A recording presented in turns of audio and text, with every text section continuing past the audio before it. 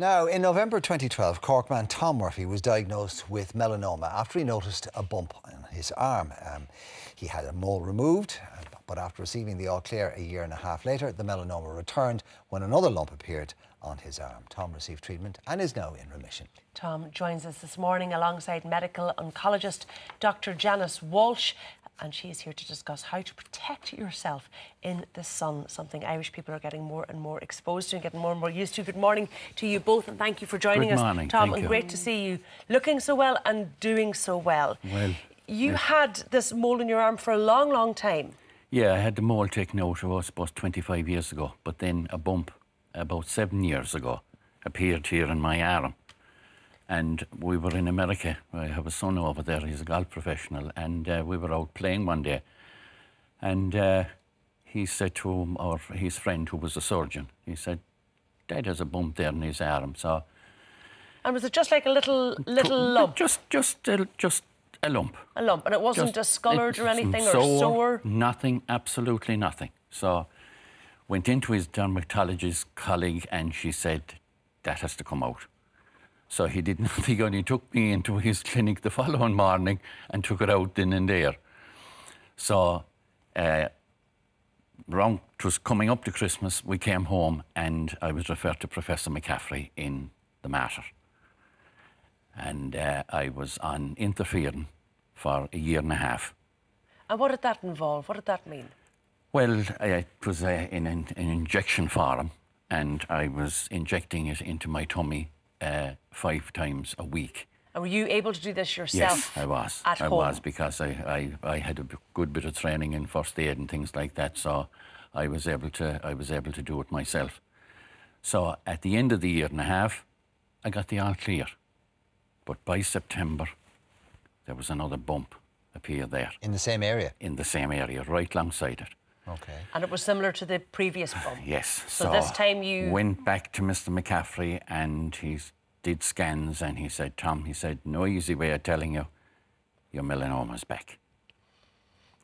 Uh, but now he said there's a complication in your two lungs as well. So it was like being hit with a sledgehammer. You suddenly confronted, and we thought everything was good, and all of a sudden we're back to square one again.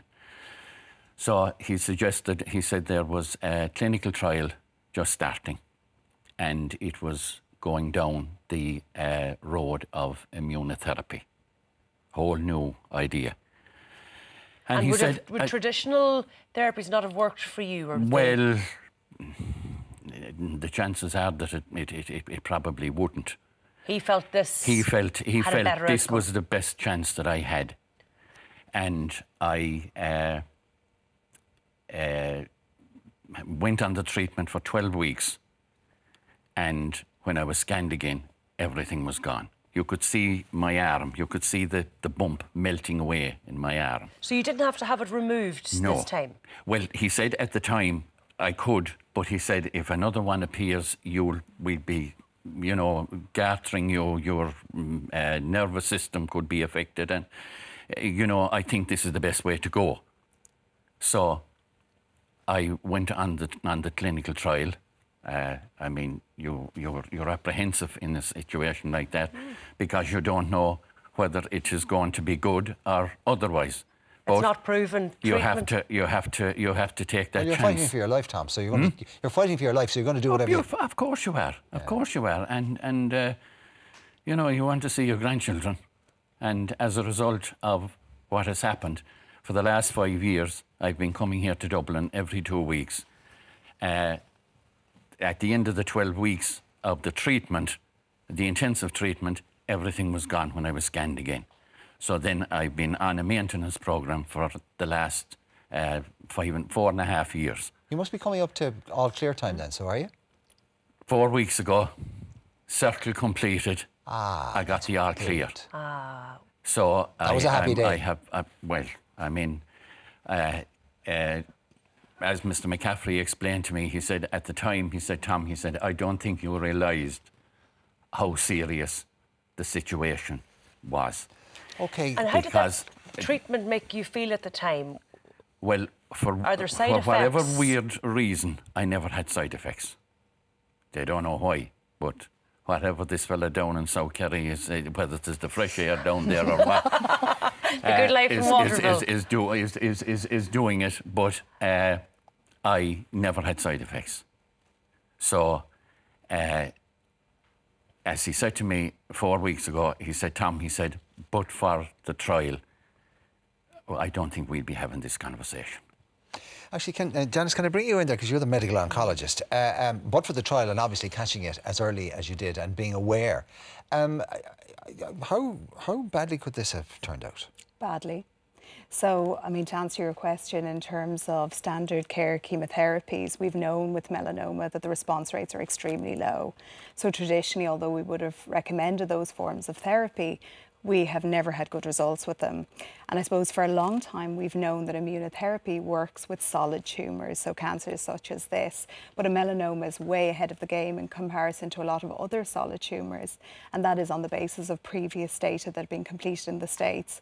So I suppose I always have to commend people like Tom because it is a leap of faith, isn't it? To go into a clinical trial and put your faith in your doctor saying that this is the best result for you. But I mean, there is no um, question that we have made tremendous strides in the outcomes of patients with metastatic melanoma. And this was stage four disease. So, what he's talking about, although you talk about that all clear at five years, that's a very different scenario. In the setting where somebody is diagnosed with a disease that affects the lung, we talk to those people about the fact that they're dealing with an incurable cancer. And yet, we know with the advent of new therapies such as immunotherapy that we now have long term survivors, such as Tom, who will need to be watched, but that can come off these therapies and may be cured of these diseases. Is that immunotherapy, the trial, I suppose, that you were on, is that now widely available? Correct. So again, the good thing for melanoma is because it's so far ahead of other solid tumours, we now have reimbursement in Ireland, so we can get the same types of treatments that we can get internationally, which is very important. I suppose the big thing then for people to be able to avail of this treatment, for this treatment to work, is early detection. Correct. So I suppose in terms of the facts related to melanoma, we are seeing a consistently increase in, in incidence, so about two to five percent per year in the numbers in Ireland, and we have hotspots that are associated with it. The sunny southeast and Cork have the highest rates, um, and of course they're associated with warmer, slightly warmer climate. There's no question that there's an association with melanoma and other types of skin cancer with sun exposure, accumulative sun exposure, sunburn.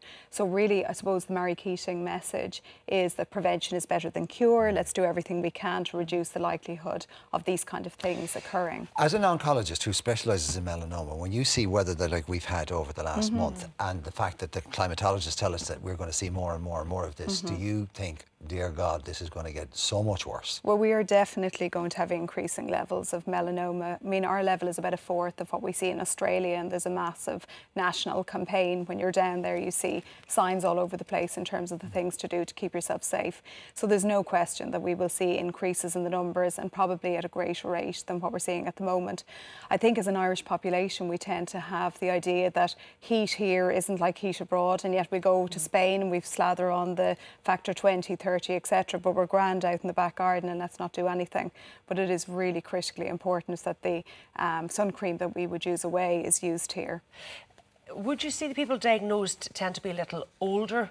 Um, It varies. The distribution is that you've about 50% of people under 65 and then 50% are over 65. so no evidence that young people are perhaps more careful than older people would have been because they simply wouldn't have had the advice 30, 40, 50 years ago. Well, I think that there is definitely changing habits. We're seeing reductions in sunbed use, thankfully, um, and there's no question that that sun damage is associated with one increased risk of sunburn. It's a surrogate marker for people who love the sun and love to sun worship, and more sun exposure. is there anything other than sun exposure that can Well, some lead to skin families can be, there are family traits that can be associated with increased risk or a genetic risk of developing melanoma, but far by far, it's sun exposure is the thing that we need to tackle. Okay, we're nearly at the end. Tom, just before we go, we didn't actually mention the Marie Keating uh, Foundation at all, but I mean, you're a huge supporter of it. You come and you, you do talks for them and uh, you, you come and. Well, I'd like to. I You like help them to in help Bloom. out. I mean, they, they're a fantastic organisation. There's no. were they in much support and comfort to you? Hmm? Were they of much support to you? Well, I mean, I, I was involved with them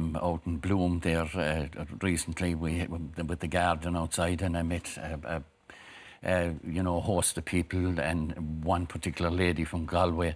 Uh, she's she's uh, had a chat with me, and the husband said, She's going under the knife on, on, on Tuesday. And uh, we hugged each other and we said, We're still fighting. And that's what it's all about. Putting up the good fights. Putting and I up the suppose, good as you fight say, and- coming on here today and making people aware. Exactly. That's the that's the important That's thing. the That message. is the message. Make them aware. Look, if you have, I'm covered in moles, but over ninety percent of them are absolutely benign. But tis the one that will, you know, be itchy or uh, change colour or whatever. Mm-hmm. Tis easy go to your GP Mm. and have it checked out, and if it's more than lightly, it's okay. Thank God for your lovely observant son back in America all those years ago. that's, uh, that's it. That's it. And we're, we're And his we're, we're here long-suffering to, wife. we- you know, just, Oh, that's a whole different conversation. and just before before we go, I would like to thank our my as I call them, Tom's Angels, in the Day Oncology ward in in uh, the Mater, and uh, Professor McCaffrey, of course. Well, listen, are thank you, wonderful Tom. people. Thank We're you delighted coming for you, Tom. Thank you. Continued good health. Cheers, Janice. Thank you. Thank you. Don't forget, if you haven't donated and you can afford to donate, there's still plenty of time. It's going to such a good cause, and we're looking here at the great work that they do. Four euro is what you'll donate. Text Marie to 50300 50300 to donate four euro.